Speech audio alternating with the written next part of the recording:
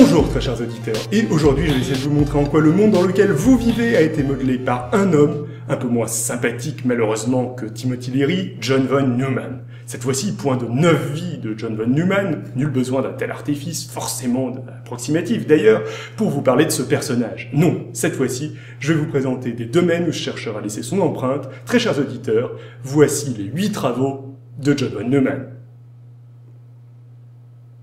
Ouais, un peu, mais euh, j'avais envie d'avoir un chiffre dans le titre en fait. Euh, John von Neumann est né en 1903 à Budapest et s'est éteint aux États-Unis en 1957 après avoir fui en 1930 la montée du nazisme en Europe comme beaucoup et s'être fait naturaliser américain en 1938. En moins de 55 ans, John von Neumann a touché à un nombre de domaines scientifiques à faire pâlir de jalousie un philosophe antique. Vous savez, ces gens qui, comme Aristote, au cours de leur vie, naviguaient très naturellement entre philosophie, physique, politique, biologie, éthique et mathématiques et c'est d'ailleurs en mathématiques que John von Neumann décrocha sa formation initiale, son doctorat, tout en passant quand même en parallèle un master de chimie, histoire de quand même pas trop s'ennuyer. Continuant à travailler en maths, il a donné son nom en 1925 à une théorie des ensembles, la théorie des ensembles de von Neumann, Bernet, Gödel, partageant donc l'affiche avec Kurt Gödel, ce qui est quand même bien classe, surtout pour un mathématicien. Mais s'il s'était arrêté là, je ne vous parlerai sans doute pas de lui aujourd'hui, et il s'est aussi grandement intéressé à des applications des mathématiques, en particulier en physique, où il a créé un cadre mathématique pour la physique quantique, il a aussi pas mal bossé en, en mécanique des fluides, où il a créé un algorithme qui a été à la base des premières simulations informatiques dans ce domaine, mais il a aussi été à la base des premières prédiction météorologique basée sur des données numériques. Il avait d'ailleurs dans ce domaine une théorie assez folle en répandant des substances dans l'atmosphère, genre, euh, je sais pas moi, euh, du CO2 l'homme avait la possibilité de modifier donc de contrôler le climat. Et Von Neumann, euh, il trouvait ça cool, quoi. C'était un moyen de pas avoir froid l'hiver, quoi. Dans les années 40, il travaillait avec de nombreux autres chercheurs sur le projet Manhattan et aida à concevoir la bombe A, puis un peu plus tard la bombe H. Je vous avais dit que c'était pas tout à fait un mec sympa. Hein. Euh, surtout que bon, sa plus grosse contribution dans le domaine consista à calculer comment maximiser les dégâts produits par euh, une explosion atomique. Von Neumann a donc contribué à la création de l'arme atomique. Et ça nous fait une parfaite transition pour aborder euh, des aspects un peu plus controversés de sa personnalité. En fait, travailler sur la maximisation des dégâts d'une bombe n'est pas forcément éthiquement très différent que de travailler sur la conception de la bombe elle-même. Quand on crée une arme, autant qu'elle soit efficace, sinon on la crée pas, dira-t-on. Et j'imagine que les scientifiques et ingénieurs qui travaillent sur la création d'armes font confiance aux décisionnaires politiques et militaires pour choisir les bonnes cibles et ne s'estiment donc pas responsables de l'usage qu'il sera fait de leur création. Et c'est aussi une défense qu'on entend fréquemment de la part des vendeurs d'armes dans les pays où les armes sont en vente libre. Euh, je vous laisse seul juge savoir si c'est une défense acceptable ou non. Mais, oh, il se trouve justement que von Neumann a participé au choix de la cible de Little Boy, la bombe qui frappa Hiroshima et fit entre 70 000 et 140 000 victimes. Et justement, il était contre le choix d'Hiroshima.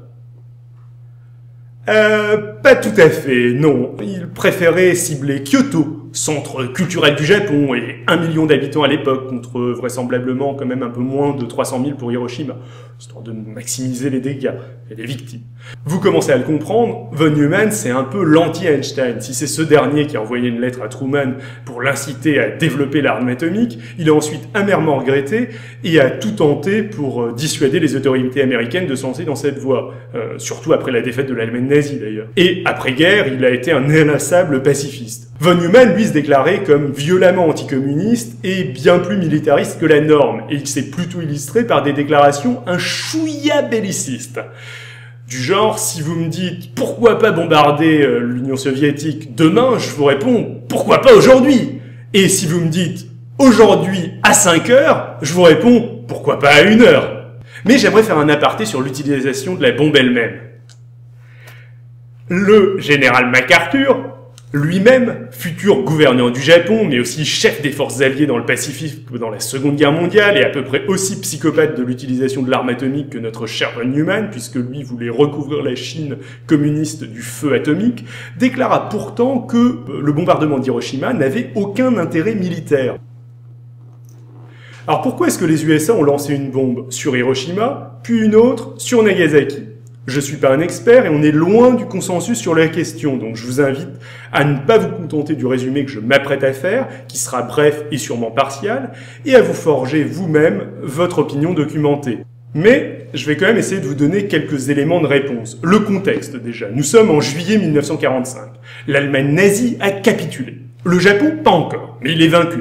Son industrie n'existe plus, les villes japonaises sont quotidiennement bombardées par euh, l'armée américaine, les communications japonaises, même au plus haut niveau, sont captées et éventuellement décryptées, le cas échéant si c'est nécessaire, par les États-Unis, et la pénurie d'avions et de pilotes commence même à limiter la possibilité d'effectuer les fameuses attaques kamikazes. Par ailleurs, les États-Unis savent que l'URSS, en vertu des accords de Yalta, va bientôt à son tour déclarer la guerre au Japon. Et c'est à ce moment que les Américains vont lancer deux ultimatums demandant une reddition inconditionnelle au Japon et vont utiliser l'arme atomique à la suite de chacun de ces deux ultimatums. Pendant ce temps, le Japon essaie de négocier une médiation auprès de l'URSS et cette négociation porte essentiellement sur deux choses une reddition sans occupation du territoire japonais, ce qui n'aura pas lieu puisque le Japon sera occupé jusqu'en 1952, et la préservation du système impérial, ce qui aura finalement lieu. Il y a toujours un empereur au Japon et Hirohito euh, régnera même jusqu'en 1989, alors que pourtant son abdiction était fortement envisagée par les Japonais avant l'utilisation de la bombe. Alors pourquoi ces deux bombes et pourquoi sur des villes avec des populations civiles importantes? Qu'après tout, l'ultimatum menaçait le Japon d'une vague destruction rapide et totale, prompt and utter destruction. Ça fait très peur, mais il n'y a pas de référence explicite à la bombe atomique. Du coup, les Américains étaient libres de faire ce qu'ils voulaient en fait. L'explication des autorités américaines était une volonté d'économiser des vies de part et d'autre et d'accélérer la fin de la guerre, ce qui est sûrement en partie vrai. Mais si nos contemporains l'ont un peu oublié, en 1945, le grand vainqueur incontestable de l'Allemagne nazie et de la Seconde Guerre mondiale, c'était bien l'URSS de Staline. Les Américains ont bien sûr contribué avec le débarquement, mais c'est les Soviétiques qui ont fait le gros du boulot. Et à l'époque, tout le monde le sait, l'opinion publique le sait. Or se dessine les lignes d'un nouveau grand conflit, qu'on appellera euh, plus tard la guerre froide. Et utiliser l'arme atomique, c'est à la fois impressionner le bloc soviétique et s'assurer de prendre position au Japon, qui pourrait tout aussi bien, en cas de prolongation du conflit, terminer sous occupation soviétique. Ce qui ferait d'ailleurs un bon scénario du chrony.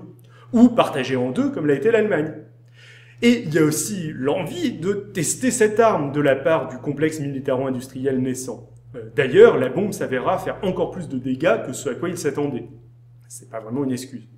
D'ailleurs, tout ça, au passage, euh, c'est pas non plus une excuse pour les crimes de guerre japonais, hein. euh, même si euh, l'utilisation de la bombe atomique était, je pense, quelque chose dont les Américains auraient pu se passer, et ça aurait été une bonne chose qu'ils s'en passent, pour moi. bref, et ce complexe militaire-industriel naissant, John von Neumann, belliciste et admirateur du monde politique, a contribué à le créer, en collaborant notamment avec la CIA, l'armée américaine, la Rand Corporation, et pas mal d'entreprises privées stratégiques à tel point qu'à sa mort, dû à un cancer vraisemblablement provoqué par les irradiations lors des premiers tests de la bombe, euh, l'accès de sa chambre était, semble-t-il, hautement contrôlé, de peur qu'il ne révèle par accident des secrets militaires. Mais ce qui résume le mieux ce que l'on doit à John von Neumann du point de vue, disons, politique, est un autre concept qu'il a inventé, l'équilibre de la terreur, ou l'assurance de destruction mutuelle, ou encore euh, la dissuasion nucléaire, comme on dit en France.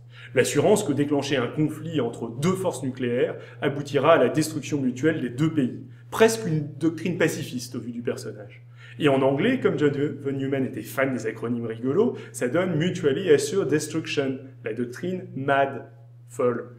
Euh, on doit donc en partie la dissuasion nucléaire à John von Neumann.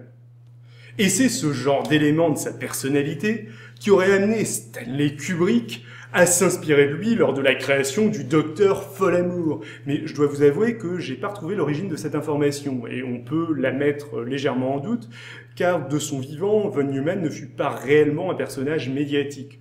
Euh, on lui compte néanmoins une apparition.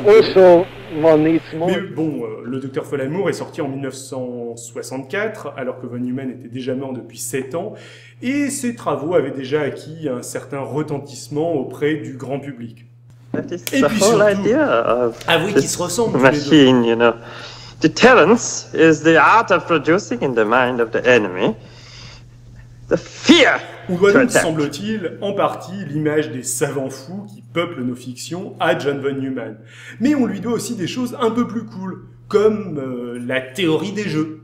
Alors non, la théorie des jeux, c'est pas vraiment un moyen de savoir comment game designer le dernier Final Fantasy ou le dernier Bioshock, quoique. Bon, ça aurait déjà un peu plus d'application euh, dans le domaine de la création des jeux de société, mais c'est pas vraiment non plus le cœur, euh, le cœur de la chose. Ça va plutôt consister à analyser les différentes stratégies et leurs intérêts que l'on va pouvoir appliquer dans des jeux très simples qui vont nous permettre de nous représenter d'autres situations un peu plus compliquées que l'on va retrouver en économie, en sociologie, en politique, euh, ce genre de choses. Et l'exemple le plus simple de la théorie des jeux, c'est le fameux jeu du prisonnier, où deux complices se font attraper par la police et se font ensuite enfermer dans deux pièces séparées. Euh, on les place alors face à un dilemme. Doivent-ils dénoncer leurs camarades pour pouvoir sortir de prison, tandis que ce dernier écopera d'une peine, euh, disons, maximale de 10 ans, euh, derrière les barreaux, ou se taire au risque de se faire eux-mêmes trahir? Sachant que si ni l'un ni l'autre ne parlent, ils effectueront tous deux une peine de prison légère, disons d'un an chacun, et que s'ils se dénoncent l'un et l'autre, alors ils auront à purger une peine forte, disons de 7 ans chacun. Ce genre de jeu va être donc utilisé, par exemple, en psychologie pour étudier l'altruisme ou la confiance. De manière assez ironique, une variante de ce jeu du prisonnier, postérieure, je crois, à John von Neumann, sert justement à simuler la dissuasion nucléaire. Et la première contribution de John von Neumann dans ce domaine va être le théorème du min-max, qui dit que dans un jeu à somme nulle, avec information parfaite, chacun dispose d'un ensemble de stratégies optimales. Entre deux joueurs rationnels, il n'y a donc rien de mieux à faire pour chacun que de choisir une de ces stratégies optimales et de s'y tenir. Qu'est-ce que ça veut dire tout ça? Eh bien, un jeu à somme nulle, c'est un jeu où, s'il y a deux joueurs, les pertes d'un joueur vont être les gains de l'autre joueur, et inversement. Alors, euh, imaginons une chasse au trésor, ou plutôt une chasse aux œufs, une chasse aux œufs de Pâques. Euh, 20 œufs ont été cachés dans le jardin. Et première règle, première possibilité, papa et maman ont décidé que la chasse aux œufs ne s'arrêterait que quand tous les, œufs auront été trouvés par les enfants. Eh bien, c'est un exemple de jeu à somme nulle. Mettons qu'il n'y ait que deux enfants et que l'un d'entre eux ait trouvé 5 œufs, euh, l'autre en aura trouvé 15. Si le premier en trouve un de plus, 6, bah, le second en aura forcément un de moins, 14. Ben, maintenant, mettons que cette première chasse aux œufs se soit plutôt mal passée, euh, les œufs étant trop bien cachés par les parents. Euh, ils ont mis plusieurs jours à être retrouvés et l'un des enfants est mort de faim malencontreusement au cours de la partie. Bon, ça arrive. Euh, et l'autre s'est cassé une jambe en essayant de récupérer le dernier œuf au fond du puits. Du coup, les parents ont perdu la garde du deuxième enfant, mais bon, ils ne sont pas découragés. Ils en ont refait, et quelques années plus tard, ils ont décidé de réorganiser une chasse aux œufs. Euh, mais cette fois-ci, ils ont décidé d'en faire une course chronométrée. Euh, les enfants devront trouver le plus de possible en moins de 15 minutes, histoire d'éviter les risques de la première chasse aux œufs. Nouvelle règle donc. Et là, on n'est plus dans un jeu à somme nulle. Le total d'œufs trouvés par les enfants variera d'une partie à une autre, et les gains ne sont plus du tout les, les gains de l'un ne sont plus du tout les pertes de l'autre. Euh, l'un peut en avoir trois et l'autre peut en avoir quatre. Ils peuvent tous les deux en avoir euh, quatre. Bon, dans certains cas, si jamais ils arrivent au maximum, euh, on revient à la, on revient à la situation précédente. Il y a plein de cas où les gains de l'un ne sont pas les pertes de l'autre. Voilà. Donc c'est pas un jeu à somme nulle. Quant à un jeu à information parfaite, c'est un jeu où vous savez ce que c'est votre adversaire. Concernant la partie, bien sûr. Euh, Pas de télépathie ou de lecture de pensée là-dedans. Vous avez les mêmes informations que votre adversaire concernant le jeu. Genre les échecs Warhammer et Street Fighter 4, c'est des jeux à information parfaite. Tandis que le poker, euh, diplomatie et Counter-Strike, c'est pas des jeux à information parfaite. Bon, alors du coup, souvent les jeux qui ne sont pas à information parfaite sont des jeux qui ont une part de bluff, ce qui est totalement impossible pour les jeux où on dispose des mêmes infos que l'adversaire. Enfin, des joueurs rationnels, c'est simplement des joueurs qui cherchent à gagner la partie. Pas de défaite volontaire pour séduire un ou une potentielle partenaire ou éviter la rage d'un autre joueur. Pas non plus de comportement masochiste. Voilà. Donc, dans un jeu à somme nulle, avec information parfaite, chacun dispose d'un ensemble de stratégies optimales. Entre deux joueurs rationnels, il n'y a rien de mieux à faire que de choisir une de ces stratégies optimales et de s'y tenir. Illustration, le morpion. Le morpion, c'est un jeu à somme nulle. Si vous gagnez, votre adversaire perd et inversement. Il y a aussi information parfaite. Vous savez ce que joue l'autre et ce que c'est l'autre et vice versa. Euh, tous les coups possibles sont connus de part et d'autre. Et je pense que bon nombre d'entre vous connaissent au morpion une stratégie optimale qui amène soit une victoire, soit un nul si votre adversaire suit aussi une stratégie optimale. Ça a l'air assez banal finalement. Mais ce fut le début de la théorie des jeux. Et John von Neumann ainsi que John Nash euh, ont contribué à l'émergence de cette théorie très utilisée aujourd'hui. Et c'est là-dessus que je vais conclure cette première partie sur John von Neumann. Alors pourquoi première partie? Pourquoi deux vidéos? J'ai mis un peu plus de temps que prévu à préparer cet épisode et j'avais trop de choses à dire pour le faire tenir dans un temps raisonnable. Du coup, j'ai finalement décidé de vous le proposer en deux parties. La seconde est déjà tournée, enfin je devrais enchaîner avec le tournage euh, là tout de suite, euh, et devrait donc être online assez rapidement après la sortie de cette première partie, comptez quand même deux trois semaines. En attendant, il est temps pour moi de vous donner les gagnants du tirage au sort de la précédente vidéo. Et un grand merci à tous ceux qui ont commenté et partagé. Gros, gros, gros merci. Je sais pas trop le faire, mais voilà. Euh, voilà. Voici les gagnants. Je vous encourage aussi à partager cette vidéo, euh, particulièrement si vous l'avez aimée, euh, et à me suivre éventuellement sur les réseaux sociaux habituels, donc euh, Twitter, Facebook, Google+, comme la formule de la dernière fois a plutôt bien marché, je vais réitérer la chose et mettre en jeu un fou rêve de machine de Turing de Jana Leving, à nouveau un livre que j'ai pas lu et à nouveau un livre qui parle pas vraiment du cœur du sujet, vu que ça parle pas de John von Neumann, mais ça reste dans la thématique en reliant l'histoire d'Alan Turing, dont je parlerai dans la prochaine vidéo, à celle de Kurt Gödel, dont j'ai un petit peu parlé ici. Donc voilà, je tire au sort un gagnant lors de la publication de la seconde partie de cette vidéo, parmi tous ceux qui auront partagé ou commenté cette première partie sur les réseaux sociaux. J'aimerais aussi en profiter pour vous demander votre avis sur le futur de la chaîne et ce que vous aimeriez y voir, euh, en règle générale, et aussi en particulier, euh, j'ai envie de me lancer dans une série de vidéos thématiques et normalement un peu plus courtes, et j'hésite entre quatre sujets, quatre thématiques. Les mini-religions et autres religions loufoques, donc une série avec euh, une religion par vidéo, les idéologies politiques en présentant des choses comme le libertarianisme, la décroissance ou peut-être les théories d'Étienne Chouard, les régimes politiques éphémères et autres transitions politiques, donc quelque chose d'un peu plus historique pour lequel j'ai pas mal d'idées. Et enfin, des vidéos plus scientifiques sur la vie artificielle qui rejoindront un peu ce que j'ai pu faire en podcast audio. Donc voilà, si quelque chose vous intéresse ou au contraire euh, ne vous intéresse pas, c'est moment, le moment de me le dire euh, avant que je me lance. Dans tous les cas, la prochaine vidéo sera à nouveau sur John von Neumann, donc, et j'ai déjà commencé à écrire la quatrième qui se rapprochera des thématiques de la toute première sur les sept vies de Timothy Leary. Sur ce, j'attends tous vos commentaires et critiques avec grande impatience. Peace et à bientôt